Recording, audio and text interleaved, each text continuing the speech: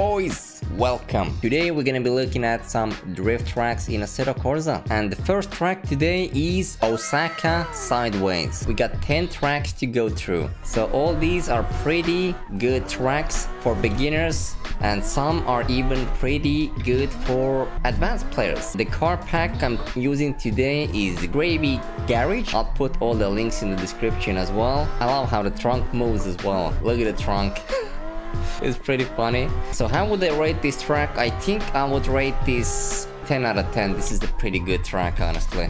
The flow is so good. Very good track for tandems as well, not just single player. So find a tandem buddy, get on Osaka sideways. We're gonna try to throw that 360 and here it is, well kind of. The next track however is Drift Weekend and this is very aggressive track boys. I don't recommend this for beginners. Car is extremely loud. You gotta be like switching from second gear to third gear pretty often and yep as you can see takes a lot of effort.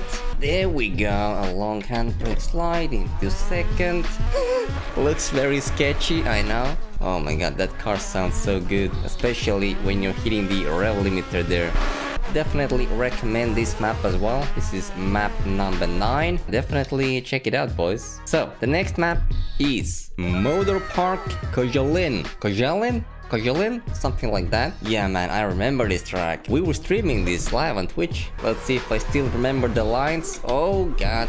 Yep, here we go. Man, these cars are so crazy as well. Oh, it even has these boxes on the ground. Yo, you could like do a competition here. Hey, that's pretty cool. Rare tires through the boxes. This, I don't think is like very beginner friendly. It's quite narrow and these sharp corners can definitely throw you off. And here is a very weird 180 corner. You gotta like slow down early into first gear or clutch kick it hard and here as well you can either clutch kick or go into first for a second we could throw like a 360 here if we can let's see bam Woo! Yo, that was clean! You can actually tandem here pretty well as well. You just gotta give the leader space for transitions. Very solid map, boys. Try it out, you won't regret it. We're gonna move on to the next map, which is Tokushima Kartland and for each track I'm gonna use a different car as well. The track layout is super good, like here you can go straight as well, but I'm gonna go here. I'm gonna show you like two versions which you can easily do here. There's probably more. This is pretty good for tandems.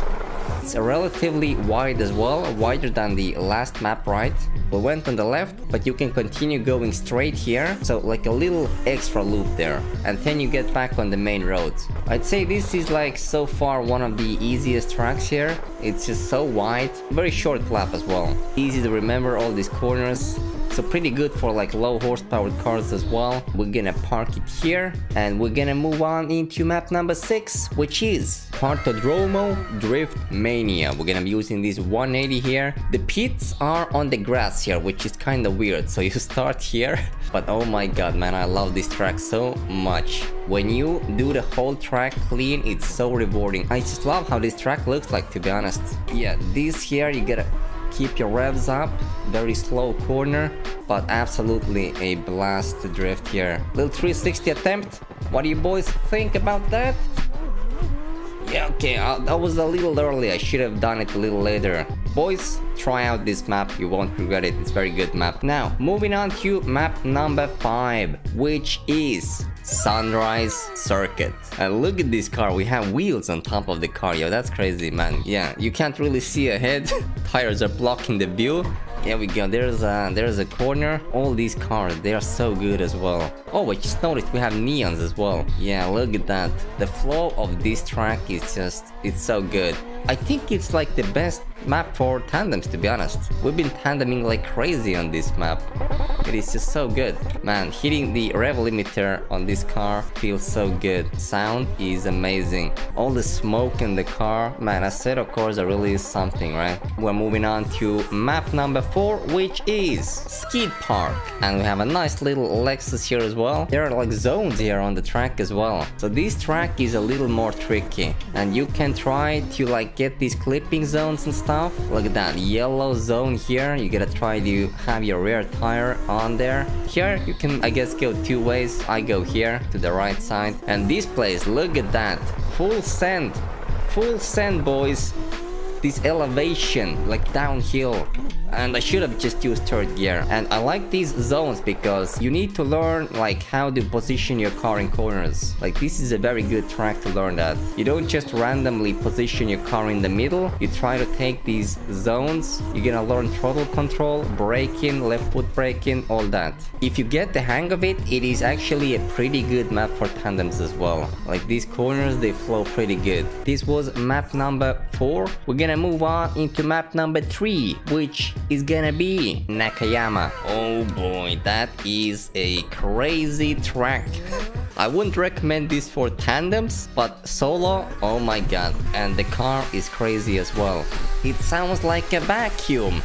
It just wants to vacuum stuff in. Very fast track, extremely bumpy as well. I do like bumpy roads, like it's realistic. Roads are not flat usually. Oh my god, listen very wide. This is not like a tandem track, I don't think so. It is so fast. Oh my god. Reverse entry, kind of. So this is more like a third gear map. Woo! Oh my god, the speed, bro. Jesus very aggressive map. This one map has just made me sweaty. So boys, this was track number 3. We're gonna move on into track number 2, which is Fresh Coast Drift. And it is super narrow. You're gonna want to use a very small car, like the 86 I'm using. Definitely keeps you on your toes. It's just so small.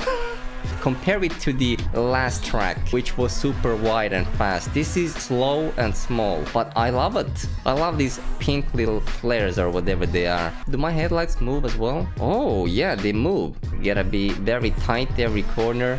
Yeah, boys, if you like small tricky tracks, this is it. Try it out. We're gonna move on into map number one, which is Hush Compound boys. And we have a crazy car here as well for this track. This track however, very good for tandems, absolutely amazing. The same dudes who made this track, they also have Hush cars. Some maps like they don't look that nice, this however looks pretty good. Some random cones in the middle there. These very smooth corners, absolutely perfect for tandem. A lot of space, also very beginner friendly. So boys, these were the top 10 tracks which I enjoy the most. And boys, if you enjoyed this video, make sure you like, make sure you subscribe as well. And as always, stay sideways.